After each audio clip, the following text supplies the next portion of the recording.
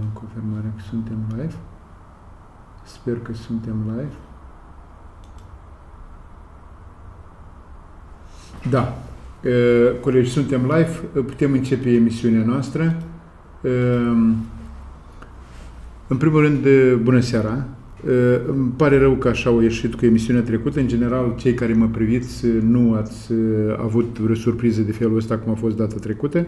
Eu, într-adevăr, a fost o chestiune tehnică din care cauză nu am putut face emisiunea, dar pe urmă am ezitat să fac vreo postare, au fost foarte mulți care m-au sunat, au fost multă lume deranjată că nu este emisiunea. Eu îmi cer scuze de la dumneavoastră, cei care care uh, nu ați avut posibilitatea să priviți emisiunea aia și o să mă strădui să nu se mai întâmple asemenea evenimente. Trebuie însă, e o chestiune pur tehnică, vă, vă asigur, dar trebuie să vă spun că dumneavoastră, privitorii mei, cei care mă priviți de ani de zile, această emisiune are 12 12 ani, mai mult de 12 ani. Eu sunt unul dintre primii care am pornit această emisiune, nu erau podcasturi, mai ales în ceea ce ține de politicieni, pe atunci nimeni. Eu am avut o emisiune de asta, am avut atunci o idee pe care am promovat-o și am ținut această emisiune și atunci când nu erau podcasturi nicăieri. Noi trăim acum într-o lume al, al acestor evenimente mediatice și multă lume își face câte o emisiune de felul ăsta. Uh, noi, între timp, în toți anii ăștia, am acumulat uh, peste 10.000 de abonați, dar asta am acumulat-o doar prin munca asta. Adică noi n-am făcut niciun fel de investiție, n-am promovat altfel, decât faptul că eu de fiecare dată v-am rugat pe dumneavoastră să distribuiți această emisiune și o să vă rog în continuare. Este adevărat că această emisiune nu crește în vizualizări și în, și în abonați așa cum mi-aș dori. Asta nu mă discurajează să continui această emisiune, dar credeți-mă, sunt și eu om și îmi apare câteodată gândul ce rost mai are să faci o asemenea emisiune într-o țară de felul ăsta. Uh, nu, eu o să o continui, să nu credeți cumva că eu dau înapoi sau... O să o continui, dar uh, dumneavoastră vedeți că societatea noastră degradează într-un hal fără de hal. Iar atunci când uh, vă dați seama ce șansă am avut noi, mă refer cei din Republica Moldova, ce șansă am avut noi atunci când forțele de dreapta, o forță declarată pro-europeană și o forță care a declarat că împărtășește valorile europene și declară până acum, a obținut, cum n-a obținut nimeni în anii de independență, un număr atât de mare de voturi, încât dacă acești oameni ar fi dorit sau ar fi, ar fi avut o cât de câtă deschidere pentru societatea asta, noi deja, după trei ani de guvernare a lor, am fost în altă situație. Eu care nu aveam încredere în ei, nu mai aveam încredere în Maia Sandu, în ei cu atât mai mult, în ultima emisiune înainte de alegere am spus, eu nu pot să-i votez. Dacă dumneavoastră puteți, mergeți să-i votați. Și mulți au votat. Uh, uh, uh, după ce au câștigat alegerile cu un număr atât de mare, dumneavoastră vă puteți uita pe YouTube, eu am zis, băi, oameni buni, hai să încercăm să-i sprijinim, dar pentru asta ei trebuie să devină un, un detașament de sacrificiu, spunând foarte exact ce am în vedere atunci când spun detașament de sacrificiu. Și Asta era șansa noastră ca ei, într-adevăr, să reușească să, să schimbe ceva în țara asta. Cine ar fi fost astăzi, mă, nu mă refer la, uh, la uh, criticii uh, gratuiți ai lor, adică cei care i-ar fi criticat oricum, mă refer la cei care sunt împotriva cursului nostru european, cei care sunt împotriva civilizației europene, cei care sunt până acum cu Putin, cu Putin și cu lumea rusă, nu mă refer la ei, mă refer la noi, la cei care ar fi trebuit să fim beneficiarii unei asemenea, unei asemenea uh, formațiuni care au venit atât de, de, de, de masiv la, la guvernare. Eu n-aș fi dorit și nu doresc în continuare niciun fel de funcții de la ei, în niciun caz. Dar eu aș fi fost bucuros să contribui cu ce pot dacă oamenii ăștia ar fi avut o cât de câtă deschidere. Noastră, uitați-vă, vă rog, la cazul ăsta cu Bubuieciu, numai cazul ăsta cât e de idiot. Deci eu spuneam că ăștia au început-o cu bulboaca, în sensul că au dat o lovitură ca și cum deschidere internațională și o să termine mai jos de Bubuieci, acolo unde e nămolul lui, lui, lui ăsta, Dorin Chirtoacă și, și mirosurile uh, parfumurile Chișinăului, acolo unde e stația aceea de iepurare, că numai de iepurare noi, acolo o să o termine lângă Bubuieri. Și nu mă refer acum la faptul că acest personaj care a ajuns în urma mai multor porcării care le-a făcut pasul, a ajuns primar, Nu mă refer la faptul că s-a dovedit că el are și dosar penal. Dumnezeu cu dânsul, asta e o altă istorie.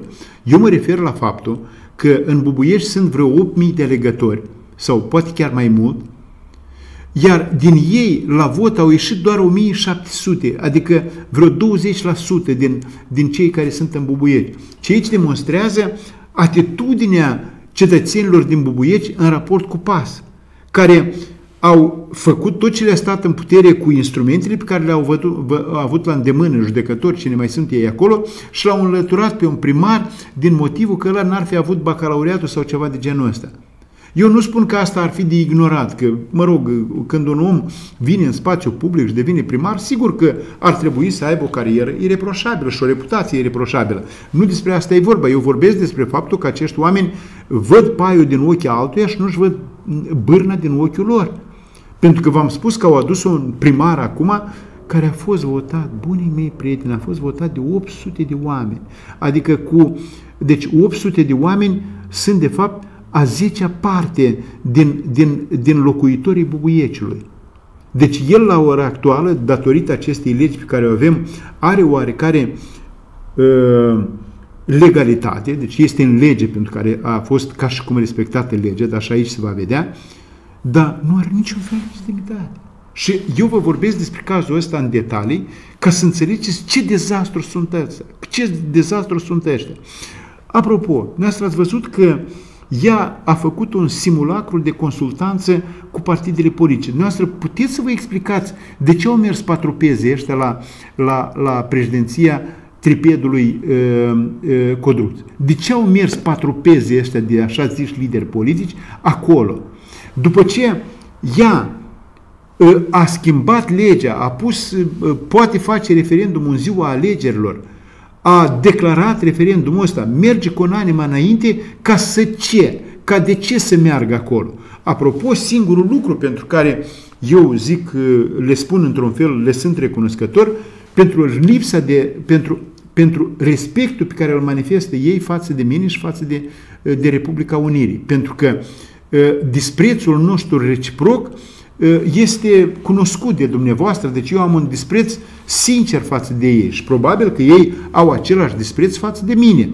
Și asta se confirmă prin faptul că nici măcar nu au făcut vreun gest să mă invite. Am înțeles că s-ar fi ocupat Stella Jantoan, care are numărul meu de telefon, cu care suntem cunoscuți, n-am mai comunicat de pe când ea a fost, ă, a fost colega lui Plahotniuc și așa mai departe. Dar Oamenii ăștia, probabil, eu, eu bănuiesc, eu bănuiesc că ei au un respect pentru mine dacă nu ne-au invitat pe noi uh, uh, Republica Unirii, că nici nu am fi mers, desigur. Eu nu știu de ce au mers alții acolo. Nu cred că rata cineva vreo ocazie, nu cred că rata cineva ocazia să-i spună ceva ca să audă Maia Sandu, pentru că ea nu i-a invitat să-i audă. I-a invitat pentru, pentru Uh, pentru imaginea aia pe care au căpătat-o televiziunile lor pentru a o difuza. Nimic mai mult, nimic mai mult. Deci eu am văzut un interviu catastrofă al ei la Moldova 1. Un interviu catastrofă, unde un jurnalist, surdu, care e jurnalist de o viață întreagă acolo la Moldova 1, nu o să vă spun atitudinea mea față de, de el ca jurnalist, o să vă spun doar de prestanța acestui om în cadrul interviu cu președintele statului.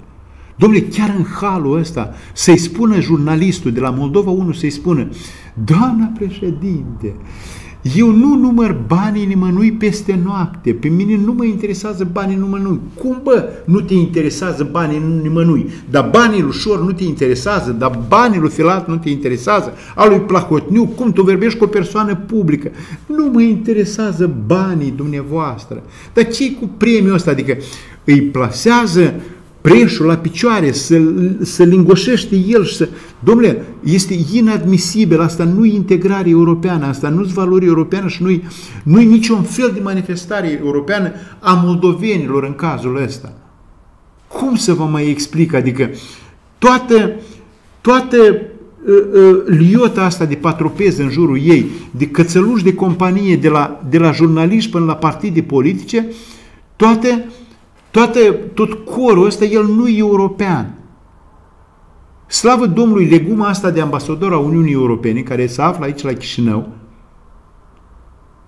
ă, a, a silabisit ceva în sfârșit despre, despre ei. Într-un limbaj atât de rotund, diplomatic, dar chiar așa cum l-a spus, putem deduce că cei de la Uniunea Europeană la fel de rotund spus ca și ei, sau, sau nu sunt încântați de inițiativa ei de referendum. Pentru că ăla spune clar, spune extrem de clar, totuși cu subiect și predicat, că voi puteți face referendumuri câte vreți. Dar în momentul în care terminați negocierile, sfârșiți cu bine negocierilor și va trebui să fie acceptați, să fiți acceptați în Uniunea Europeană, oricum va trebui să faceți un referendum. Eu nu sunt foarte sigur dacă toate țările au făcut referendum. Din câte știu, România nu a fi făcut referendumul ăsta, dar România a avut o, un consens larg a întregii clase politice asupra, asupra integrării europene. Noi suntem o zonă mai dificilă, noi suntem o țară mai dificilă, noi avem o coloană a cincea a Rusiei aici, care este foarte clar coloana a cincea a lui Putin. Eu vă zic, eu nu știu cu ce o să termine referendumul ăsta. Eu nu o să mă pronunț din, în numele mișcării, în mișcării noastre, în numele Partidului Republica Unirii, nu o să mă pronunț în raport cu, cu, cu acest eveniment. Cum n-avea niciun rost să merg la întâlnirea cu ea. Ei, acum Cărcotașul spune, ei, domnul Mocanu, nu vă invitat Maia Sandu pentru că sunteți un partid care nu participați în alegeri, care sunteți insignifiant de mic. Bine, acolo au fost partide nu numai extraparlamentare, acolo au fost și partide extraterestre, cu lideri pe care lumea i-a uitat de cândva dacă i-au cunoscut. Eu cel puțin sunt cunoscut în spațiu public și dumneavoastră mă vedeți, cel puțin prin emisiunea asta. Colegii mei au atitudini.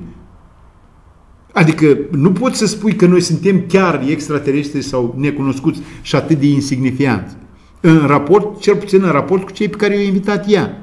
Și de aici eu am dedus că asta e o formă de respect al disprețului pe care l-am eu față de ei. Nu-i puțin chestia asta, dar eu vă spun, sunt dezastru ăștia la guvernare. Și eu nu văd, noi ne-am pomenit într-o situație în care stau să vină coloana a cincea a Rusiei la guvernare în Republica Moldova, dar ăștia nu dau nimănui nici cea mai insignifiantă șansă să-i sprijine. Nu numai pe ei, dar și referendumul lor. Nu numai pe ei. Eu tare sper că referendumul ăsta nu va avea loc. Dar dacă cumva ea nu se oprește, pentru că eu am văzut-o cât de conanima vorbea ea în emisiunea lui Surdu, care stătea preș în fața ei, care făcea, făcea piruiete în fața ei, s-a șternea, s-a șternea țol în fața lui Maia Sandu. Și cu câte, cu cât entuziasm de președinte vorbea ea. Eu am impresia că atâta timp cât ei nu, nu îi se spune nimic, ea nu realizează unde ne-am pomenit. Iar noi ceilalți care manifestăm, ă, care manifestăm disprețul ăsta pentru ea, Ă, sigur că vom fi ignorați în continuare. Vă zic încă o dată, bunii mei prieteni, eu cred că foarte multă lume astăzi sprijinea, dacă, iată, vă spun o situație. Domnule, orice partid care vine la guvernare în Republica Moldova, din cauza exodului mare a cât de cât a minților din țara asta, din cauza că cei mai activi oameni ai acestei societăți au plecat peste hotare și au rămas puține aici, oricine poate ajunge în situația lor, iată chiar și cu primarul ăsta de la, de la Bubuieci. Oricine, spre un partid politic pot veni oameni pentru carieră, pentru tot felul de, de mânării, pentru oricine. Domnule, dar dacă ai o deschidere către toată societatea, vii la guvernare și spune, ei, oameni buni, noi nu avem echipă de guvernare. Nu ni s-a întâmplat că au trecut în Parlament și oameni care n-am crezut vreodată că o să ajungă în Parlament. Bun, cu cei din Parlament luăm pentru ei consilieri, îi ajutăm, pentru că, vă zic, este, este groaznic, este terifiant să-ți imaginezi că tu trăiești într-o țară în care Radu Marian e președintea Comisiei pentru Buget și Finanțe. Este, vă zic, orice om îi se duce mintea îți duc ochii peste cap, se duce mintea la plimbare când îl vede pe Alaiba președinte, a, președinte, ministru al economiei. Dar cu toate astea, dacă oamenii ăștia aveau o deschidere, băi, făceau niște audieri publice, spuneau, măi oameni buni, declarații pe fiecare, facem, facem concursuri publice, să vină cei mai buni. Dacă nu-i bun, îl dăm afară, dar discutăm cu dumneavoastră, avem o comunicare, pentru că vrem cu adevărat să schimbăm. Domnule, ăștia au venit cu o gașcă agresivă, necărturară. Astăzi, în, uh, uh, uh, deci astăzi a fost admisă excepție de neconstituționalitate pe dosarul lui Șor. Știți de ce? Tocmai din cauza în care Denis Ureche, aici alături de mine, a spus ce se întâmplă cu dosarele lui Șor, inclusiv de lui Șor, că dosarul ăla e falsificat. Iar în baza unui dosar falsificat, degeaba îl judeci pe unul ca Șor. Înțelegeți? Apropo, Denis Ureche și despre emisiunea care am avut-o cu Denis Ureche, de, emisiunea a avut rezonanță, ă, ă, chiar foarte bună rezonanță. Nu cred că eu am avut, ă, că nu sunt jurnalist, chiar dacă am lucrat jurnalist, dar am fost editorialist, am scris, nu am dexterități de jurnalist să pun întrebări. Eu m-am străduit să, să, să-i pun întrebări. Unii mi-au reproșat că l-am, l-am, l-am rupt la jumătate de frază, posibil, nu știu, dar sper că cu toate astea Denis Ureche a reușit să spună și să fie auzit. Apropo, Denis Ureche va avea o conferință de presă lunea viitoare în care va, va, va expune, să, va expune uh, uh, foarte exact pe subiectul dosarului clasat pe, pe frauda bancară. Revin la cei ce sunt ei și la, la cei ce fac acești oameni. Deci oamenii ăștia au ajuns într-o zonă periculoasă pentru noi și nu ne salvează nicio, nicio integrare europeană din situația asta. Noi suntem ca, ca o corabie care a fost pus cursul corect, noi mergem pe, pe, pe direcția corectă, deci cursul nostru este corect, noi mergem în direcția care trebuie. Dar ceea ce se întâmplă pe puntea acestei corabii nu ne dă nicio șansă să ajungem tefer la destinație. Pentru că capitanul acestei corabii este labil psihic, mă refer acum la ea, deci ea nu are, deci ea, ea v-am spus altă dată, dincolo de încântarea moldovenilor pentru Maia Sandu, eu, eu nu văd niciun fel de încântare, nici de felul cum s-ar fi prezentat ea pe, pe arena internațională, pentru că, pentru că în Uniunea Europeană vor fi alegeri. Noi nu știm ce vor fi la alegerile astea, pentru că, pentru că cei pe care i-a prins războiul uh, uh, în în, în funcție în Uniunea Europeană s-au dovedit a fi oameni care nu pot fi la înălțimea acestor vremuri. Ucraina, uh, Ucraina a avut o mare neșansă să nu existe vreun lider european care să aibă, să aibă ei redevin acum cumva. Văd că și Scholz își iese din pepeni, încearcă să, să fie oameni, să se uite în cameră, să ia decizii Uh, de caracter și mai departe. Nu prea iese că nu au făcut lucrul ăsta. Noi nu știm ce politicieni vor veni în Uniunea Europeană, pentru că la nivel de Uniune Europeană există o anumită derută, pentru că uh, la nivel de Uniune Europeană a existat o, o, o, o teorie prin care s-a considerat că, uh, că mecanismele statului de drept sunt atât de performante încât nu trebuie să numești sau să alegi uh, oameni cu caracter în funcție de răspundere, pentru că ei nu mă bulversează cumva și câteodată asta vedem. De exemplu, Trump a bulversat foarte mult statul american, dar nu în măsura în care să-l, să-l clatine, dar l-a bulversat și bulversează în continuare, imediat ajungem. Dar uh, sperăm că războiul din Ucraina, cei prin ce trece acum toată Europa, va aduce după asta, va aduce va aduce oameni cu caracter la guvernare. Iar cei care sunt omologii estora din Republica Moldova, foarte mulți care seamănă într-un fel cu ei, vor dispărea și de acolo. Eu acum știți că eu am evitat întotdeauna să spun, să mă refer la conspirații, că stă Soros undeva și face planuri, globaliștii, ecologiștii, oculta, internațională și așa mai departe. Eu le evit, nu pentru că n-ar exista fenomene de felul ăsta, dar ele nu sunt relevante pentru, pentru situația în care, prin care trece această lume.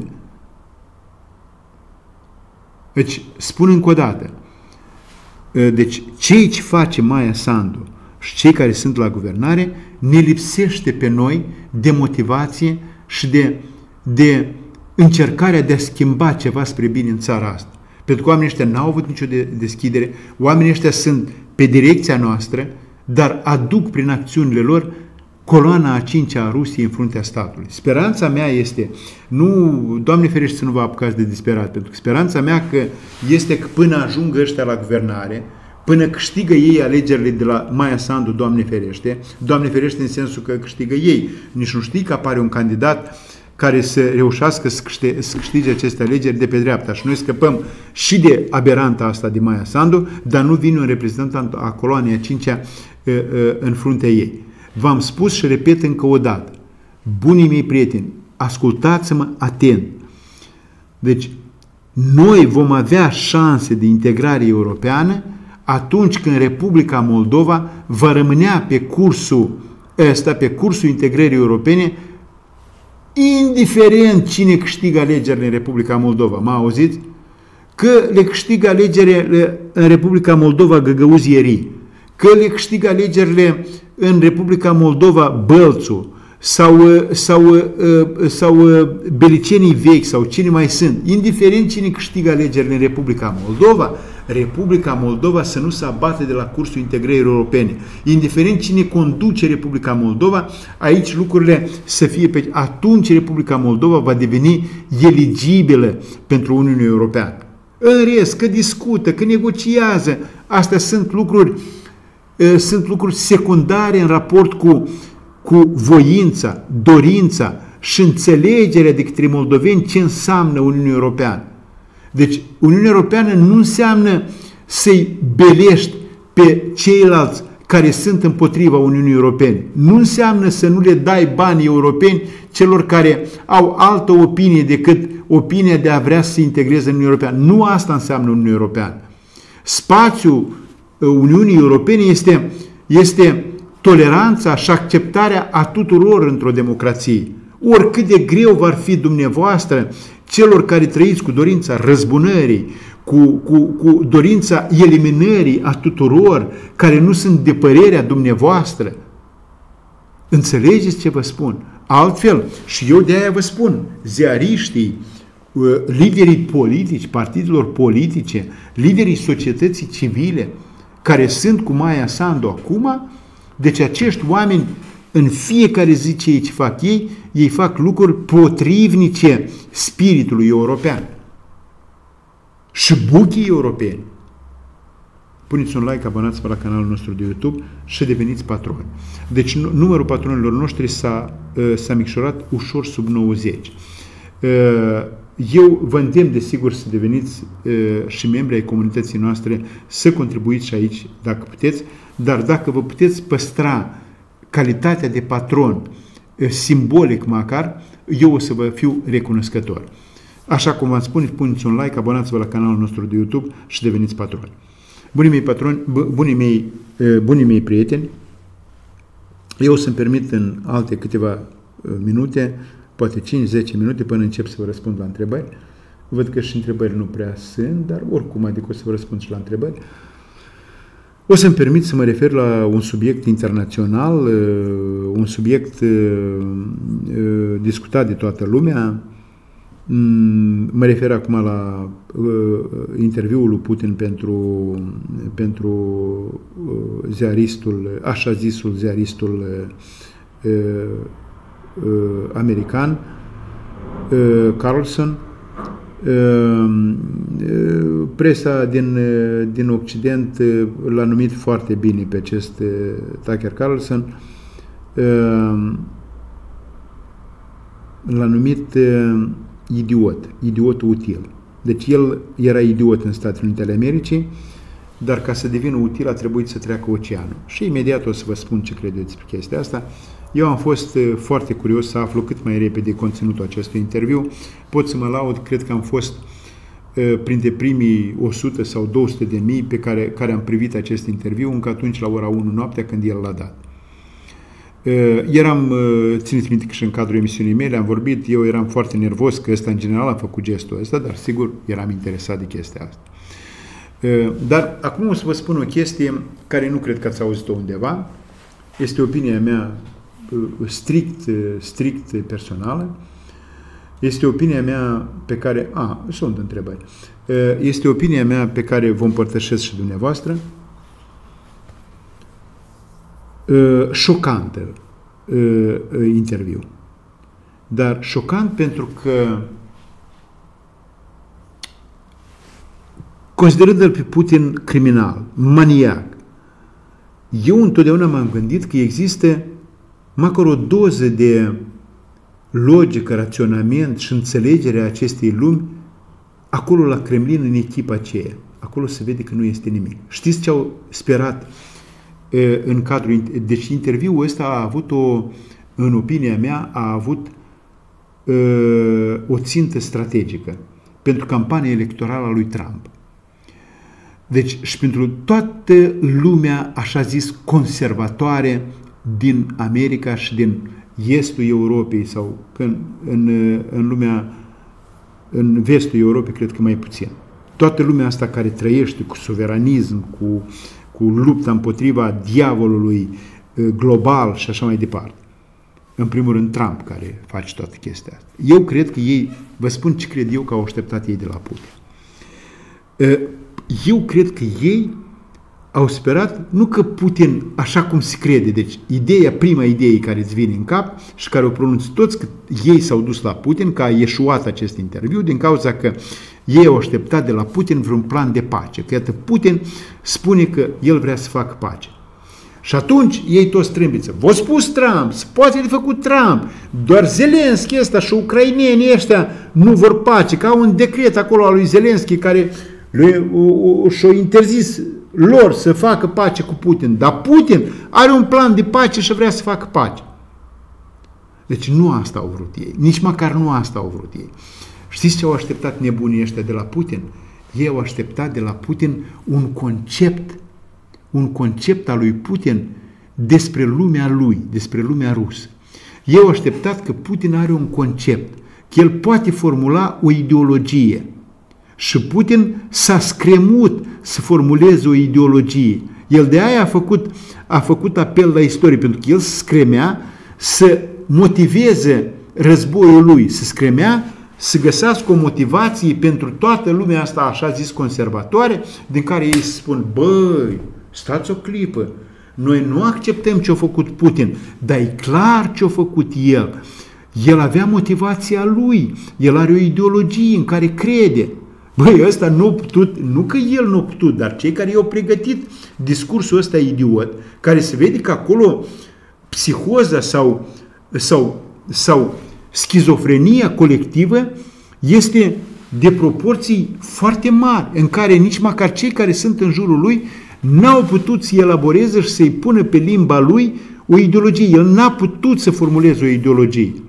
El a încercat să spună smintitul că ucrainienii sunt ruși și asta, ok, dar el n-a putut explica nici pentru Occident și nici pentru un om sănătos la cap de ce dacă ucrainienii ar fi ruși, de ce toți rușii trebuie să trăiască într-o singură țară?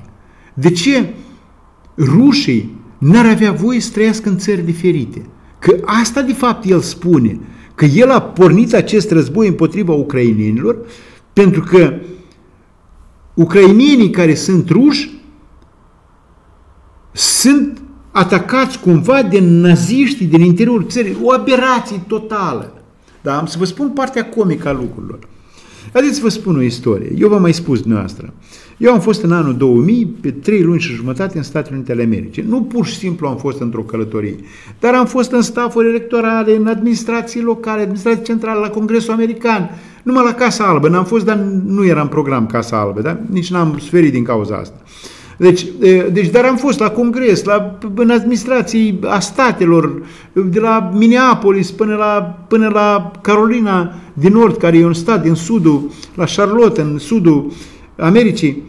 Vă spun chestia asta pentru că stând într-o discuție cu niște profesori universitari la, un, la o facultate de sociologie, cu profesori de acolo, pe urmă și la ei acasă, mai drept zis pe urmă la el acasă, la un american, el a zâmbit la un moment dat când noi vorbeam și a zis, domnilor, Noi știm, noi vă cunoaștem foarte bine, pentru că facultatea lor s-ar fi numit altă dată până la căderea Uniunii Sovietice, s-a numit de sovietologie, adică ei erau specialiști în, erau sovietologii, erau specialiști în Uniunea Sovietică.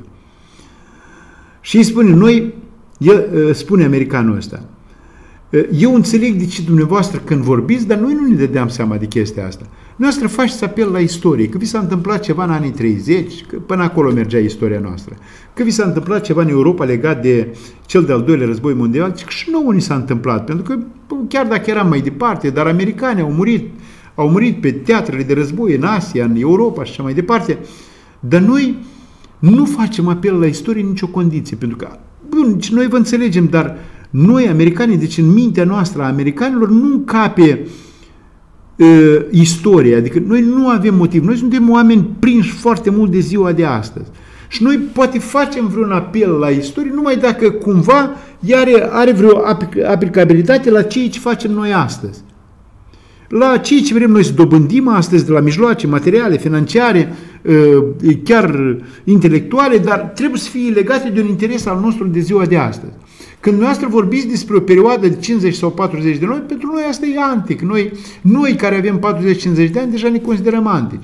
Dar tinerii nu pot prinde cu mintea lor anii ăștia. Ei, când vorbește Putin, nu mai mă refer acum la anul 800 și la cei ce li s-a întâmplat lor în istorie altă dată și ucrainenilor, mă refer chiar la, la istoria recentă. Când el povestește că s-a întâlnit cu, cu Bush senior care era tatăl lui Bush, care era președinte al Americii, și americanul ar spune, cred că în engleză, my mind went blank, cred că ar spune. Deci el nu înțelege, el nu are cum să înțeleagă ceea ce îi spune Putin. Nu știu ce ar spune el, dar, dar el, nu știu, cred că nu știu, cred că ar spune, nu știu ce ar spune el, dar el nu înțelege ce spune asta. Adică el ar spune, domnule, dar ce vorbește omul ăsta? Despre care președinte? Că președintele cela, el a auzit despre el numai din istorie. Dar când ăsta îi spune că ăsta încă era președinte, el era președinte pe atunci când Bush era președinte, americanul nu înțelege. Americanul nu are cum să înțeleagă. Ceva, cred că, what the hell he says, probabil, probabil ar spune. Nu are cum să înțeleagă așa ceva. Uh, ei nu au obținut chestia asta. Deci, eu consider că în spatele acestui, e o opinie mea, în spatele acestui interviu a stat campania electorală a lui Trump, chiar dacă el e favorit, eu cred că el este un pic în disperare. Și primul a făcut niște prostii. Uh, deci, stă chiar ăsta, chiar smintitul ăsta de, de uh, Carlson. Uh, și stă cumva naivul și extraterestrul Musk care și-a pus la dispoziție outletul lui mediatic, așa ar fi în americană, la americani, și-a pus la dispoziție resursa lui mediatică, și-a pus la dispoziție spațiu X, rețeaua X, cum ar pune la dispoziție, crezând că Putin pune la dispoziție ceva iată, închipuiți că el pune o rachetă pe linie de start și așteaptă că Putin îi aduce ceva care să lanseze în cosmos. Eu fac această comparație ca să-i explic ce s-a întâmplat. Că rușii aduc ceva care el să lanseze în cosmos. Cam asta este ceea ce a lansat Musk prin rețeaua lui Câteva zeci de milioane au privit chestia asta. Deci, iertați-mă de expresie, asta e cum ai lansa un cacat în cosmos, iertați-mă. Cam asta au făcut el cu lansarea lui Putin la scară internațională, cu un, cu un smintit care nu-i pune nicio întrebare să-i spună, vă spun o aberație, ăsta zice, da, dar vreau să vă spun, eu am ascultat interviul lui în engleză. Eu am ascultat pe unul tot ce ce a spus rușii și fragmente, cum au vorbit el în rus. Eu am ascultat ce spun ucrainenii despre interviul ăsta, ce spun rușii despre interviul ăsta. Apropo, rușii sunt la pământ cu chestia asta, mă refer la așa zis și patrioții lor. Cel mai mult Putin o lovit în ruși. Eu mă uitam ieri la disperarea lui Aristovici și al lui Latinina, care Aristovici deja spune cu text deschis, eu nu puteam să înțeleg ce cu Aristovici ăsta, el e Dugen, el e Dugen, el e din zona asta. Deci ei ar fi cei care ar trebui să preia de la Putin ștafeta și ei sunt disperați despre de prestanța lui Putin care i-au dat o lecție de imperialism, cum ar trebui să fi fost el imperialist. Și ăștia care sunt imperialiști ruși, lui un Aristovici care vrea să construiască uh, el nu spune lumea rusă, el vrea să construiască uh, o civilizație rusească cu alte valori decât cele occidentale, cu spravedlivost și sovest. El e voi în sveta. Traduc și pentru ai noștri, pentru români care nu știu rusa, uh, cred că spravedlivostea ar fi de dreptate, iar sovestea ar fi onoare sau uh, sau uh, cinste. Uh, deci asta sunt, uh, sunt valorile pe care le, le contabilizează ăștia, duginiștii ăștia, că de acolo vine. Noastră înțelegeți că, așa cum pretindea Dugin că ei ar fi a treia Romă, ei sunt doar al doilea Mongolie, până și fostul președinte a Mongoliei mai civilizat decât ei. Pentru că știți cum a fost? Imperiul Roman, care a devenit pe urmă Imperiul Roman de răsărit, ă, deci cei care au rămas în Imperiul, ă, în fostul Imperiu Roman, ei s-au detașat repede, deci se mai recunoșteau Imperiul Roman doar ăștia, bizantinii, doar ăștia de la Constantinopol. E, uita despre, pentru deja ce e istorie, n-au nicio treabă cu... Spune tu unul italian, că el e roman, că el provine din roman, ei nu înțeleg chestia asta. Deci e istorie îndepărtată, n-am nicio treabă cu chestia asta.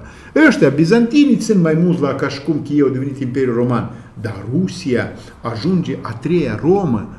De ei nu sunt decât mongoli, așa cum i-au lăsat, adică peste dâns și-au venit Mongolia, nu Bizanțul. Nici măcar asta nu sunt. A, că ei se numesc țar, de la Cezar. Stai, lumea uitat de mult chestia asta. Deci Putin nu a putut formula pentru Trump o strategie în care să le dea conservatorilor, ca și cum occidental, să spune, domnule, dar păi vedeți, omul ăsta are o ideologie, iar proștilor să le spună, băi, de acolo poate renaște lupta pentru valori, valori perene, pentru valori creștine, știu eu de care, ale civilizației și să luptăm cu toții, să creăm un front mondial împotriva globaliștilor și așa mai departe. Noi cunoaștem teoriile astea aberante. Vă zic, aș avea mult să vă spun, dar totuși mulți din cei care ne privesc sunt mai puțin sensibili la probleme geopolitice. De aia, mai bine să trec să vă răspund la întrebări. Mai rămas vreo 20 de minute să vă răspund la întrebări. Puneți-mi întrebări și o să vă răspund. Puneți, vă rog, un like, abonați-vă la canalul nostru de YouTube și deveniți patroni dacă vă puteți permite. Așa. Îi mulțumesc lui Petru Țurcan, cred că, da? Nu sunt de acritici și de asta. Sau Turcan, da? Cred că Țurcan sunteți. Vă mulțumesc foarte mult, Petru, pentru contribuția noastră la supraviețuirea noastră și la existența noastră ca și curent de opinii, ca și partid politic. Domnule Mocanu, Oleg Tofilat a fost demis de spânul care are interes și pe acolo deja. Nu știu. Eu știu că Oleg Tofilat a scris cerere și a plecat de la căile ferate. Dacă înțeleg eu dintr-o scundă comunicare cu electrofilat, pentru care v-am spus uh, uh, că uh, eu, așa cum l-am văzut eu de la distanță, Oleg Tofilat pare a fi un bun manager și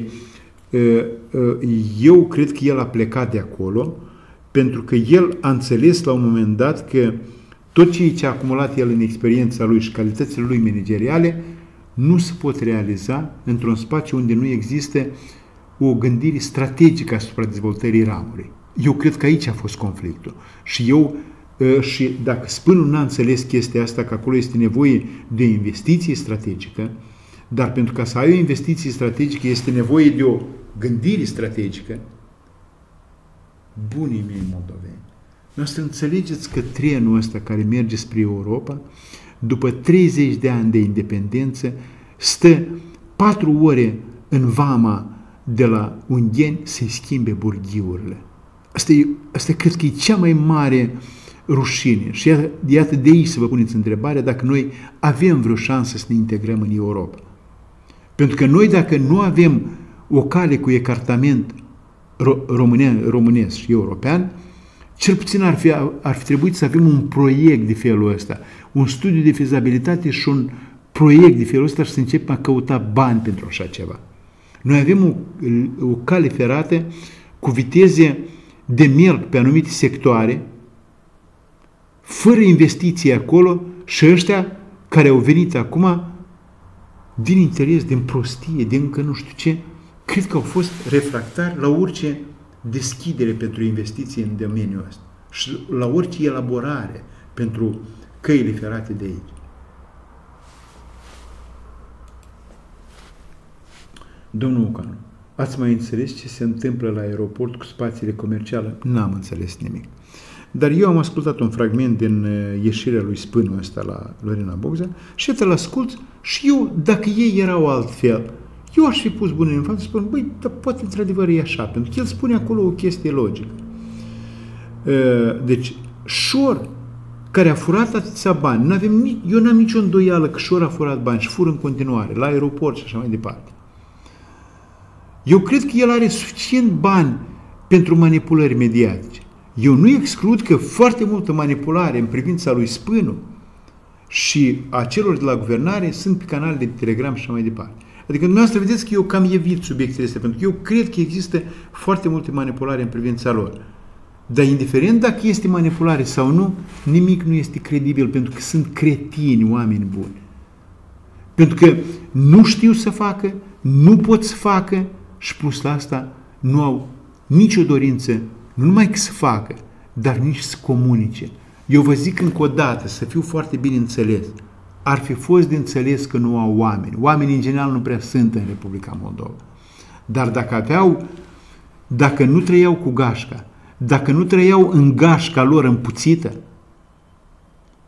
era șansa să se deschidă către, de către lumea bună de aici, care e plecat și care a mai rămas, să căutăm cu toții împreună cei mai buni oameni, fie cetățeni moldoveni, fie cetățeni a altor state naturalizați, ca să ne deschidem spre România și Uniunea Europeană. În schimbul acestui fapt avem un dezastru în sistemul de drept. Acolo s-a ajuns până la reglări de conturi de care nu vă puteți imagina. Am ajuns ca oameni de afaceri să fie luați, să fie băgați în, pușcă, în pușcărie, să fie scrucheați de bani și eliberați. Nici pe timpul lui, nici pe timpul lui Plahotniuc nu era așa de grav. Pentru că îmi spunea cineva, măi, uitați-vă la Lazar ăla, care a făcut atâtea, era ce era. Băi, da, avea Domnul o strălucire în ochi, vedeai că are un cât de câtă inteligență. Alaiba, pupșoi. Noi cum să stăm? Noi acum suntem, nu vreau să compa- comparația asta, cam cei ce am pățit, noi pățesc și rușii care, care au în fața lor un, un maniac slab, un om fricos, care i-a făcut de tot râsul în lume acum, pentru că el nici măcar nu s-a arătat tare. El spune, revin un pic, mai îmi scapă și el spune că el o vrut să fie în NATO, o vrut să fie în Europeană și l-a respins. Dar păi atunci dacă ai vrut să fie acolo, tu de ce? A, apropo, eu început să-mi și mi-a scăpat. Nu vă supărați că am, dacă n-am făcut emisiuni data trecută, îmi scapă. Revin și vă răspund la întrebări mai departe. Putin în momentul acela mie mi-a scăpat, pur și simplu rar mi se întâmplă chestia asta. Putin spun cei ce, vă spuneam, Românii noștri nu înțeles nimic din, din interviul lui Putin. Eu nu știu în ce limbă l-au ascultat, am înțeles că s-au tradus și românește, rusa nu știu, engleza mulți dintre ei, dar ei nu înțeles nimic. Adică eu am ascultat pe ucraineni, pe ruși, am văzut fiecare ce-a înțeles, dar ai noștri total n-au înțeles nimic. Uh, Dungaciu, cred că e un pic pe trend, pe înțelege ceva. Dungaciu, apropo, și-a îndreptat foarte mult discursul.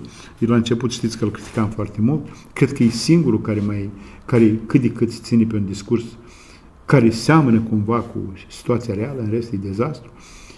Uh, Putin la un moment dat spune că niște ucraineni au fost încercuiți și că rușii le-au strigat predați-vă pentru că n-aveți nicio șansă, iar ei au strigat ruschie ne zdaiuță, rușii nu se predau. E, și au fost omorâți, descrie legenda asta, povestea asta. Ei, dacă acolo stătea un jurnalist, dacă stătea un om, dacă nu stătea un idiot acolo, domnule, îi zvâcnea sfârcul și întreba, cu riscul că interviul ăsta nu mai apare, că Putin ies și întreba, da, toți trebuie să fie supușii tăi dacă ucrainenii ăsta sunt ruși. Așa cum v-am spus. Accept, eu v-am spus chestia din partea mea, nu din partea lor. Deci, noi acceptăm că ei sunt uh, uh, ruși. Dar rușii ăștia n-au voie să trăiască într-o altă țară. Rușii, în general, că așa numai Hitler făcea. Asta vreau să vă spun. Hitler a anexat uh, Austria pentru că Austria, în, în, în, în conceptul lui nazist, nu avea dreptul la existență ca stat. Păi cine sunt naziști în cazul ăsta? Adică erau niște, în fine, trebuie să vă în cazul în care noi nu avem întrebări către Denis Ureche, putem să le adresăm. În cazul în care noi avem întrebări către Denis Ureche, putem să le adresăm? Da, puteți să le adresați, dar nu știu cum să facem. Poate, eu nu sunt bun de interviator, dar poate dacă, că am văzut că există, poate mai facem o emisiune cu Denis Ureche într-un timp apropiat. Poate mai facem o chestie, nu știu. Uh, nu știu, o să-l întreb pe Denis Ureche dacă vrea să vă răspundă la întrebări. El o să răspundă la întrebări la conferința de presă. Dar au fost oameni care au scris au fost oameni care au scris uh, Ei, dar de ce nu mi se întâmplă mie chestia asta? Ce nu mi se întâmplă nou lucrul ăsta? Ce se întâmplă lui Denis Ureche? Vă seama câți lumpeni avem aici? Dom'le, într-o societate normală, înțelegi că un om care se ocupă de afaceri și care plătește impozite din care tu, cretinule, care întrebi așa, o să ai poate pensii din banii lui, o să ai indemnizații pentru copii din banii lui, că banii în țară se fac de oamenii activi cărora se pot întâmpla multe lucruri și în Occident, apropo, li se întâmplă. Deci, oamenii ăștia vor să trăiască cu un stat imaginar ca la sovietici, care, care, un stat din care se poate mulge fără să falimenteze cât vor ei, lumbenul.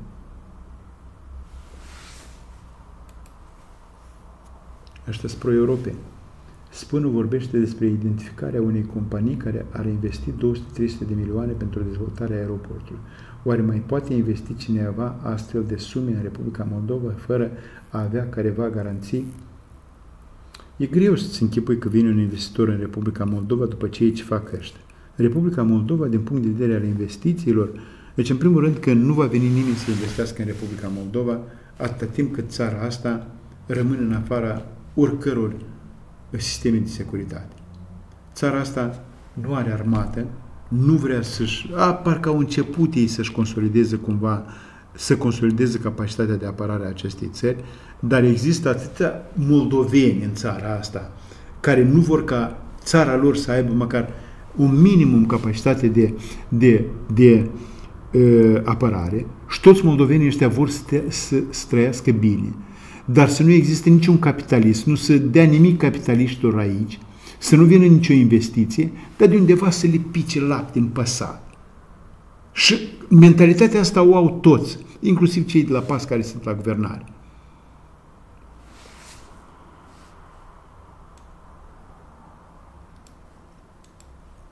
Domnul Can, ați înțeles de ce a fost chemat Dodon la consultări? N-am înțeles. Și, dar cel mai mult n-am înțeles de ce, au, de ce s-au dus alții la consultări ea a făcut un simulacru de, de consultări cu partidele politice. Eu l-am înțeles pe Dodon de ce nu s-a, nu s-a dus și pe alții am înțeles de ce nu s-au dus. N-am înțeles de ce s-au dus cei care s-au dus la președinție.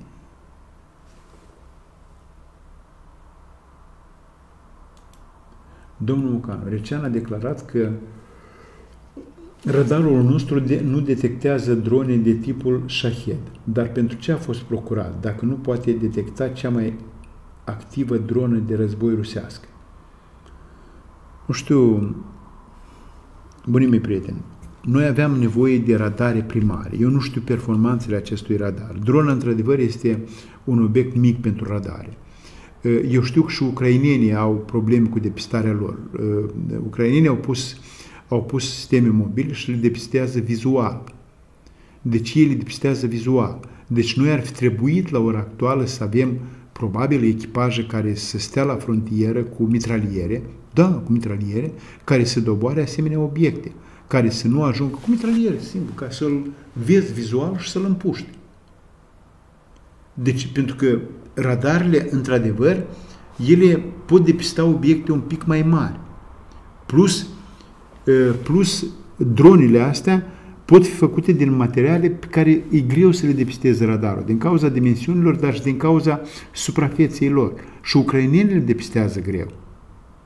Așa că nu cădeți pradă celor care utilizează prețul acestui radar, mie nu mi se pare prețul lui așa de mare. Deci, ceea ce e bun costă mult. Iar noi trebuie să facem în continuare eforturi și dacă noi cumpărăm, vede lumea că noi facem careva eforturi din armare, ne vor da, ne vor ajuta cu armament. Eu vă zic, noi trebuia să avem echipe mobile în zonele unde știu că zboară drone sau rachete rusești ca să le împuște ostașii noștri de pe platforme uh, uh, mobile să împuște aceste, aceste drone. Eu am auzit că uh, ăsta avea 50 de exploziv la bord. Iertați-mă, vă rog, 50 de, de, de, de kilograme de exploziv făceau o, o, o gaură mare în Etulia. Poate au lăsat-o să-i vină de hac bătrânii celea care făcea pronosticuri la Etulia. Etulia mai este cunoscută în istoria României, chiar în istoria României Etulia este cunoscută, nu m-am uitat de mult, dar vă spun din memorie. La Etulia, în anii 30, nu mai știu exact în ce an, a avut loc o mare tragedie. Acolo a deraiat un tren. Iar uh, cei din Etulia, în istoria lui există, în istoria celor din Etulia, există o pagină neagră a acelui sat. Eu nu știu dacă eu cunosc sau dacă interesează, înțeleg că satul e găgăuzesc sau bulgar, nu știu foarte exact, cred că găgăuzesc. Deci oamenii de acolo din sat s-au dus și pădrau cadavrele. Vă dați seama că România interbere că tot era o gaură mare și nu erau echipe de intervenție. Echipele de intervenție n-au reușit să vină la, la timp. Au fost acolo câteva sute de morți în cadrul, în cazul acelei răniți, morți care, mulți care au murit acolo din cauza rănilor când au ajuns echipele de intervenție. În orice caz, ca să înțelegeți cum era pe atunci, echipele de intervenție au ajuns la a treia, la a patra zi. Iar cetățenii din sat de acolo au început să prade cadavrele, să le scoate inelele de pe mâini, să le dezbată dinții de aur, ceva de genul ăsta. Iar jandarmii, câțiva jandarmi, puțini jandarmi care erau, erau nevoie să stea, deci să să împuște asupra lor cu arma de foc, să împuște la început în plan vertical, pe urmă nu știu dacă au împușcat direct asupra lor, ca să îi fugărească pe acei oameni ca pe hiene de la cadavrele pe care ei le pradau. A fost o asemenea istorie în istoria noastră, la fel de neagră cum a fost, cum a fost altă dată pe timpul Imperiului Țarist, un act de antisemitism cunoscut în toată lumea, groazne, cu, cu, cu omorul a zeci de evrei aici, o pagină neagră în istoria noastră, la fel de neagră ca și atrocitățile pe care le-a făcut armata lui Antonescu atunci când au decimat mii de evrei pe teritoriul Basarabiei. Acum, apropo de, de dezna, denazificare. România a fost denazificată prin faptul că România a adoptat o legislație, ca și multe țări europene, prin care numii de lui Antonescu sau chiar de lui Octavian Goga nu pot apărea de străzi sau undeva în context pozitiv. Pentru că vrem sau nu vrem, vrem sau nu vrem, dar Antonescu este, este recunoscut ca criminal de război. Ca și mulți alții din perioada interbelic care au fost, care au fost deschis sprijinători ai nazismului. Ne place, nu ne place, cine au fost ei și mai departe. Și asta se va întâmpla și în Ucraina europeană. Toate discuțiile astea despre Bender și mai departe, astea sunt condițiile pe care le impune Uniunea Europeană țărilor care vin în Uniunea Europeană. Un proces absolut firesc. Ceea ce vorbește Putin despre denazificare, asta el trebuie să o facă pentru el. El e nazist. Deși mie nu-mi plac comparațiile astea cu naziștii, pentru că ceea ce este Putin sau alții timpurile noastre sunt altceva decât adevărații naziști. Domnul Mucan, fermierii iar protestează de data asta la Leușen. Dar ce? De ce nu ca în 2020 în fața Parlamentului? Sau nu au voie din partea lui Slusa? Nu știu. Eu nu mai știu. Eu v-am spus tot ce cred eu despre agricultorii ăștia, despre situația în care s-au pomenit ei. Jurnalistul Călăgoreanu sare în apărarea Maia Sandu și îi acuză pe toți cei care critică inițiativa referendumului. Ce părere aveți despre așa reportaj? Domnule, eu am văzut un... Eu de mult nu mai privesc Jurnal TV, încă de atunci când mă apărau pe mine, când mă arătau și pe mine, nu. Am mai privit pe urmă, dar e, nu mai contează.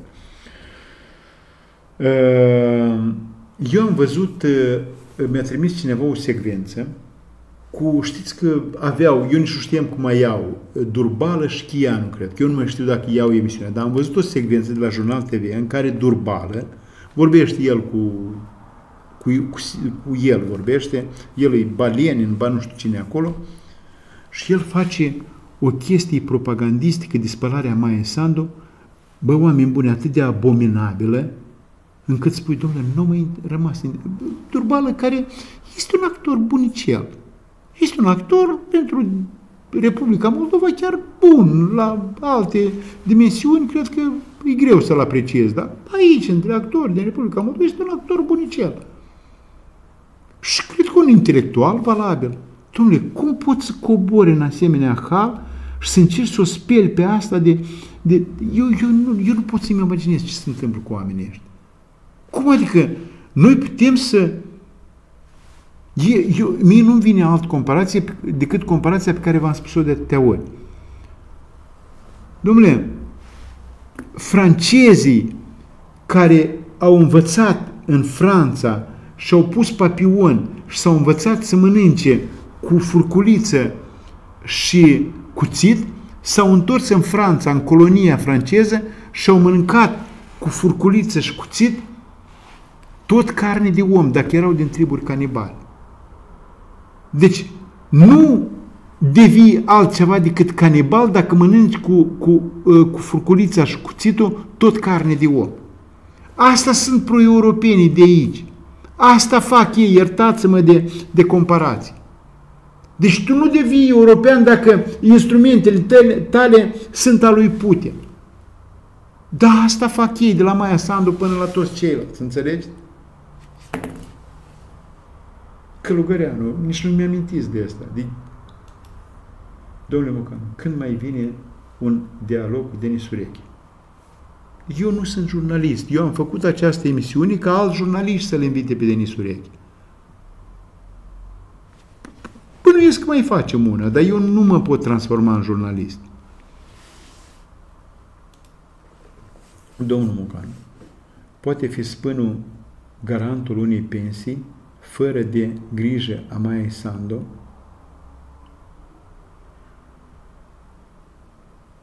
Nu înțeleg. Domnul Mucan, poate fi spânul garantul unei pensii fără de grijă a Maia Sando? Că altfel nu văd niciun motiv de ce îl ține în funcție. Cunoașteți ceva despre casa Maiei din Trușeni? Eu am auzit ceva. Dar dacă asta e adevărat, eu n-am privit, nu, nu știu, dar am auzit ceva. Dacă asta e adevărat, că acea casă a fost construită, a fost, adică finisată în ultimii trei ani, cam 70% din costul ei, la prețuri, cum mi-a spus un coleg care înțelege în, în asta. Deci, ei, ei, ele ar fi trebuit să investească acolo vreo, vreo 150-200 de mii de euro. Puteți să-mi spuneți de, de unde au ele asea bani? Mă refer la familia lui Maia Sandu, soră sau maică sau așa mai departe. N-am nicio problemă. Dar ea era Sfânta Sfintelor. Adică, pe lângă faptul că sunt cretini, pe lângă faptul că sunt ipocriți, adică mai sunt și corupți, mai iau și bani. Eu, n-am, eu, eu știam lucrul ăsta. Eu știu că ei a trebuit acest premiu, a ieșuat, dar i-a trebuit acest premiu ca să-și poată face declarația de venituri. Acum nu mai poate. Și trebuie să caute o altă modalitate să-și poată face declarația de venituri, pentru că tot ceea ce vedem consumă Maia Sandu, dintr-o, dintr-o, dintr-o estimare paușală. Dacă facem o, facem o estimare paușală, mm, deja depășește cu mult veniturile ei din salariul ei de, de președinte. Da, e clar că pentru europeni asta nu contează. Pentru presa ei, pentru uh, uh, ăștia, cățălușii ei și așa mai departe.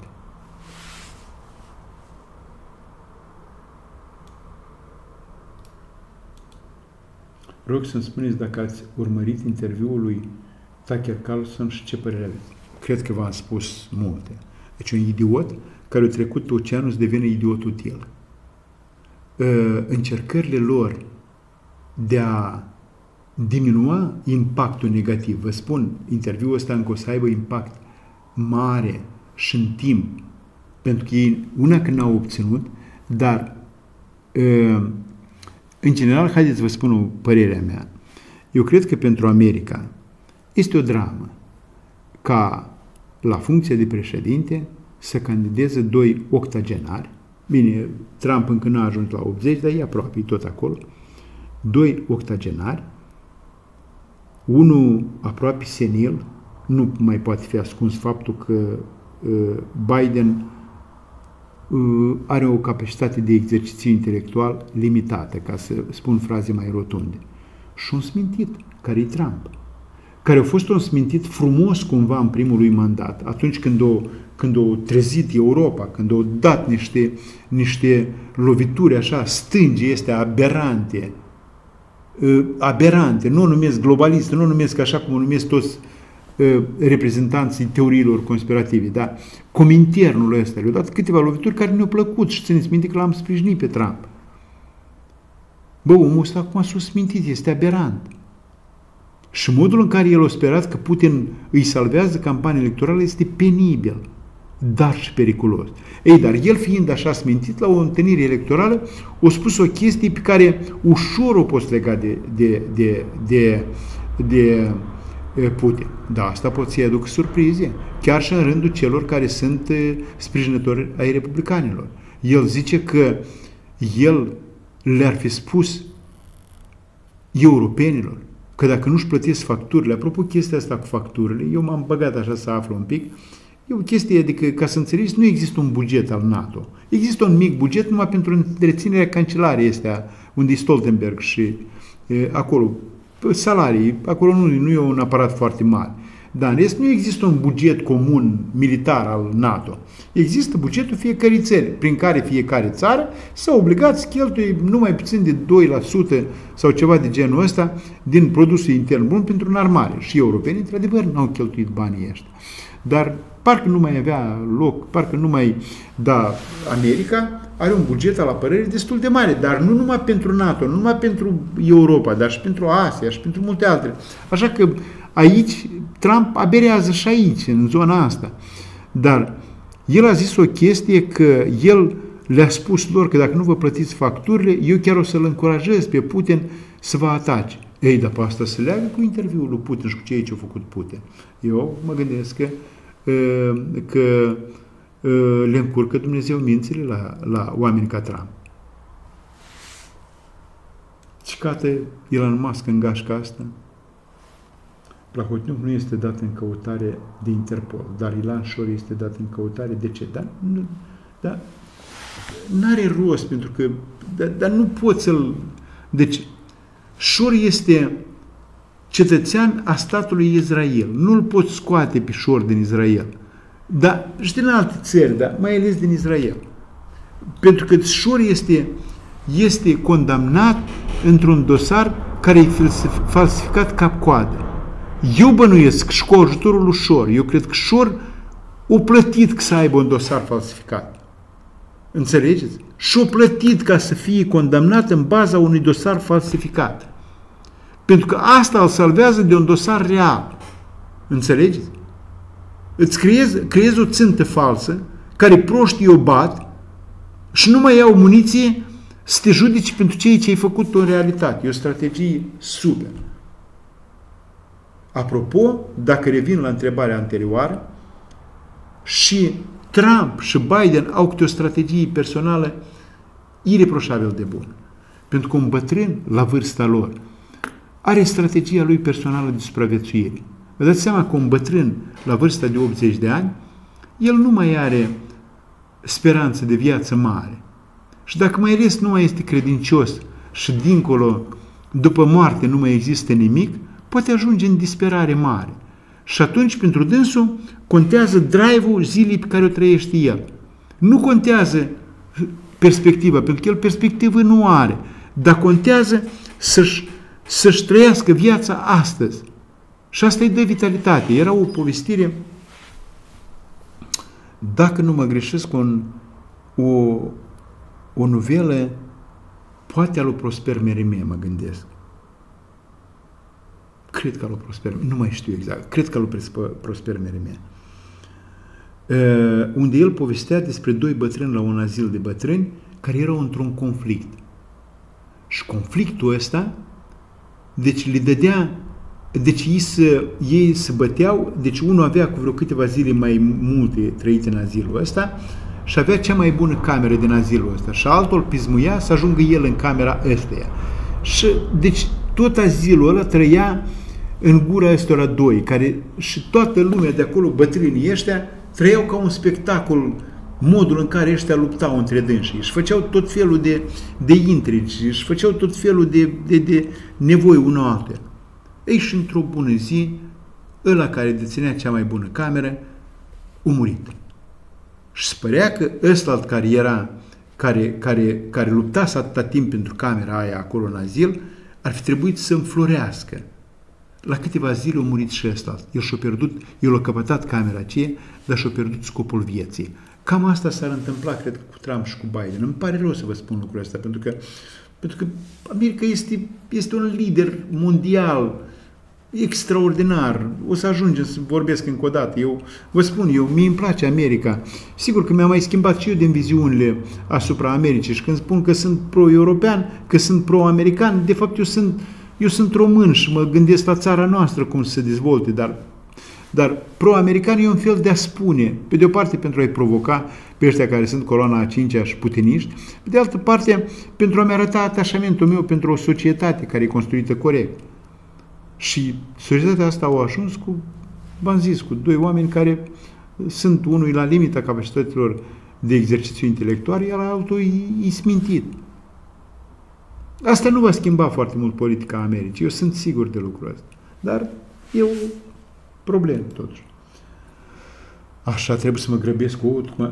Au trecut 10 ani de la referendumul ilegal din Găgăuze. La această temă de, deseori sunt menționați Dodon, Ceban și Vlac. Dar unde erau pe atunci Plahotniuc și Filat? Erau cam ca acolo unde a fost Maia Sandu la începutul războiului.